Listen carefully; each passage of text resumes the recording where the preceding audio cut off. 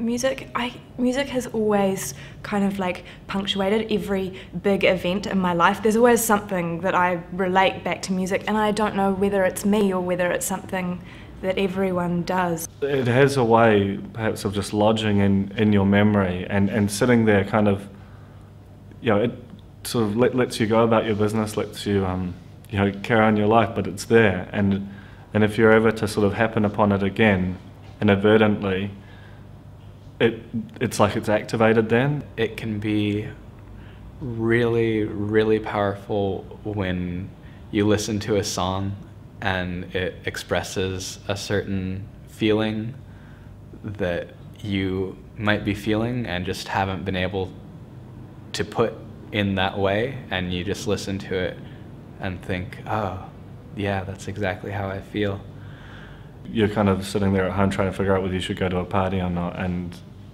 you know in your late teens or whatever and a lot of the time you end up meeting this person that will have a massive role in your life and it, you know, it was that close to you missing each other entirely.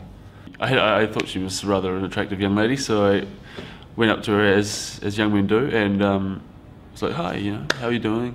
Introduced myself, um, and we had a, a, bit of a conversation. I was a little, a little bit uh, drunk. I had been talking to him that night for a really long time. Like we'd been sitting there having this chat for I don't know, like half an hour, an hour, or something like that. And then um, you know went off and sort of respectively talked to other people and whatever. And then just as we were leaving, he comes and sits next to me. I think he actually had his arm around Lucy at the time. He comes and sits next to me and says, "Said hi. Um, just been meaning to introduce myself. Um, my name's Matt." She's like, "Yeah." And I'm like, "Oh, what's your name?" Matt, it's Delaney. We talked for like an hour earlier on. I was like, oh, right. This is embarrassing.